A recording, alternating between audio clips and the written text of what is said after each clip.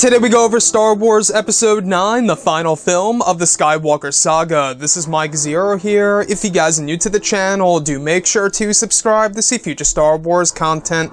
Now, as you all know, J.J. Abrams currently is hard at work on developing the final film of this trilogy that will bring an end to the Skywalker saga itself. Now, these past couple of weeks, we have been learning a whole lot more about this film when it comes to some of the scene schedules, the set leaks, the set designs, the concept art and storyboard descriptions, etc.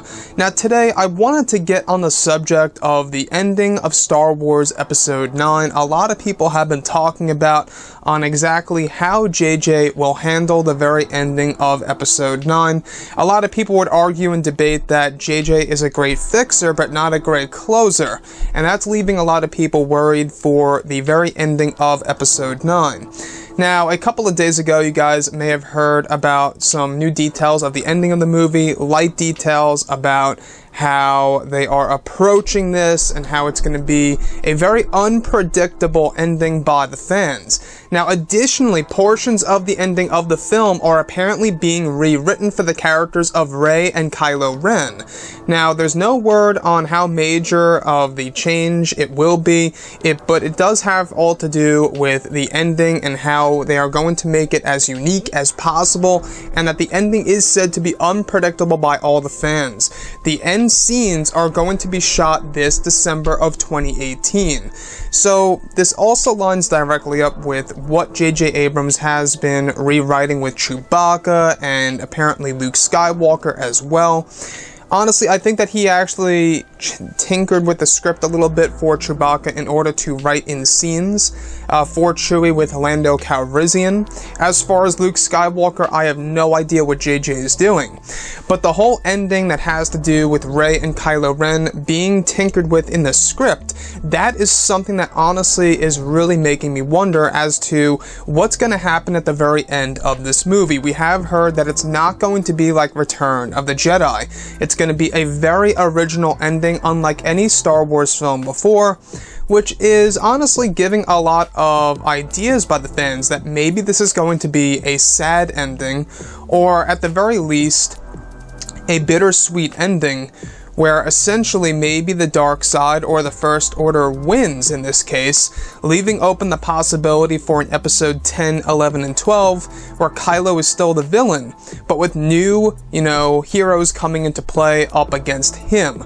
I could see that as a very interesting way of making a 10, 11, and 12. You know, giving Adam Driver three more movies to essentially sign up for and do. I think that could be a very interesting angle for sure, if they really wanted to go that way. Now, looking at, you know, Star Wars Episode 9 as a whole, J.J. Abrams has said, I think it was like a year and a half ago, that he doesn't plan on making this a direct copy of any other Star Wars film. So it's not going to be like a beat for beat like in Star Wars The Force Awakens for A New Hope. Now, looking at The Force Awakens, you can see a lot of beats of A New Hope. And going into Episode 9, apparently it's not going to be like that with Return of the Jedi. It's going to be a unique film in and on itself, and the ending is going to be so unpredictable by the fans and extremely unique. And right, right now, they are actually rewriting a lot of portions of the script involving the characters of Rey and Kylo for the last part of the third act of the movie. So we do know that the original script by Colin Trevorrow, alright, Daisy Ridley read it, she was crying about her character Rey. And that opens up a lot of discussions, right? As to exactly what was going to happen to Rey in Colin's script. Did she die? Uh, did something happen to her? Did she learn a certain truth that made her, you know, all dramatic? We really have no clue as to why Daisy Ridley was crying about her character. If she's crying about her character, one would be led to assume that it's, you know, her dying, her character dying, something so unexpected, and doing something so different, I think, could have very well you know, left Daisy Ridley unguarded and just kind of like shocked by reading that script. So going into episode 9, maybe, and I'm just saying this is a big maybe, maybe J.J. Abrams is adopting whatever idea Colin had for Rey and kind of putting that in the script now because maybe it fits more, you know, well with the overall storyline. So I would really love to hear your ideas about what you think the ending of the movie is going to be. As of right now, apparently they are rewriting little scenes here and there involving both Kylo and Rey for the very ending of episode 9. And also, a lot of these scenes are to be shot this December of 2018.